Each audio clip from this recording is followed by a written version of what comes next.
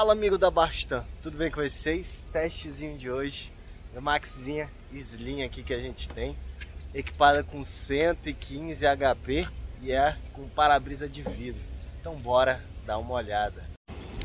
Então amigo da Bastan, estamos aqui, VMAXzinha Slim 2, pode se chamar assim, né? Ainda tem que ter um nome mais ou menos, para essa categoria. É uma VMAX 2, né, para se falar a verdade, só que tem esse para-brisa menor que eu acho um charme mais bonitinho, velho. Fica uma coisa mais esportiva, mais purista, né?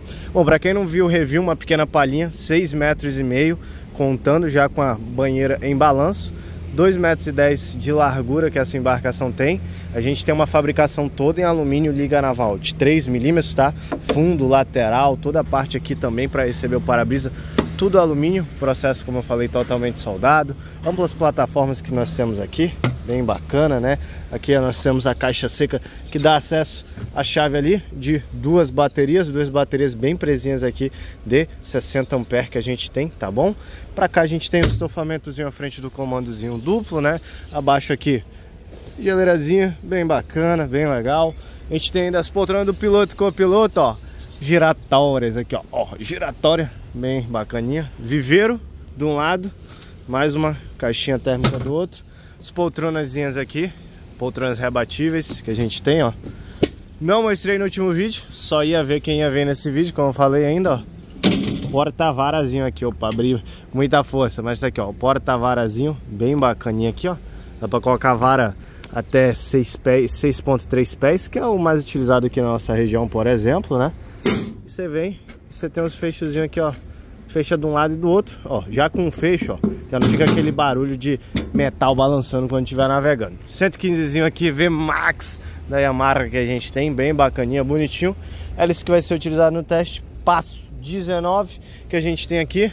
Olha só, por trás, a polpa da embarcação, bem bonitinha aqui. Nós temos acesso ali o porão como eu mostrei para vocês. Tanque de abastecimento aqui. Aqui a gente tem uma média 120 litros. Bem bonitinha essa embarcaçãozinha aqui. Vocês estão vendo, essa VMAX modelo 2, né? Então, vamos pro teste ver quantas milhas vai dar, consumo e tudo mais.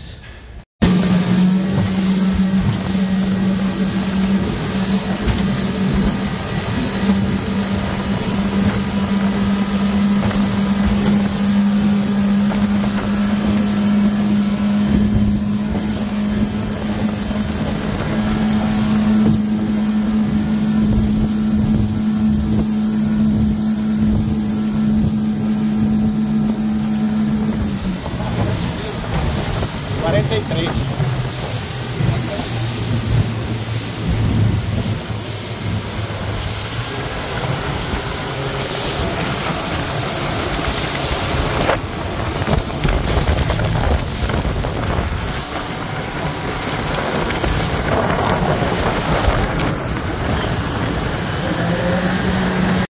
Aproveitar, galera, para mostrar aqui por dentro.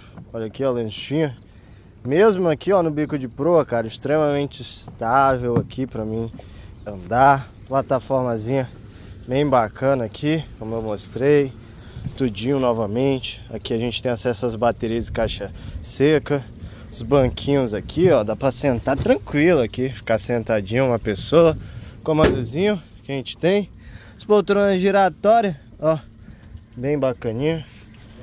A gente tem aqui tudinho aqui, parte do viveirozinho aqui, ó. Bem bacaninha, ó. Ó o viveirinho. É, viveirozinho. Caixinha térmica.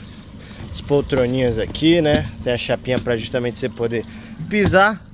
Ter acesso ao motorzinho aqui. 115 HP, o VMAXzinho bem bacana, bem legal.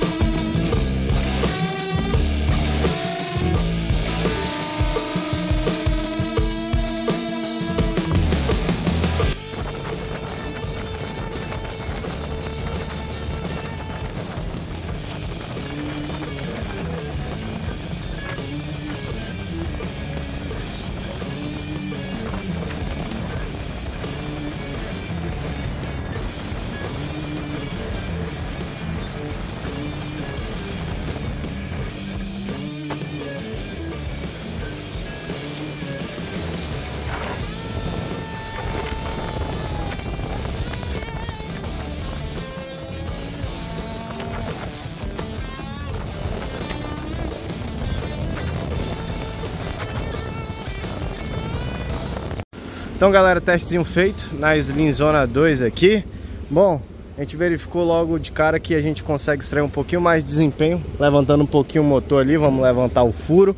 É, tivemos médias desse jeito que está aqui hoje com a 19, 43 até quase 44 milhas dentro já do esperado. O consumo é, ficou na média 30 milhas, ficou 4.7 até 5 galões, né? Ficou variando um pouquinho. Então a gente tem um consumo aí de uns 17 a 18 litrinhos nessa velocidade. Ou seja, subindo o motor ainda fica mais econômico, o barco fica melhor para navegar também, tá galera? Porque o motor enterrado, além de dar aquele famoso rabo de galo, faz o motor exercer mais força embaixo do casco, né? E faz o casco querer levantar mais. Fica até mais confortável para navegar. Então, esse vídeo que eu queria trazer para vocês, testezinho feito, completo dessa Slim 2 para vocês. Se inscreve no canal, vá com mais forte e vai de Titã.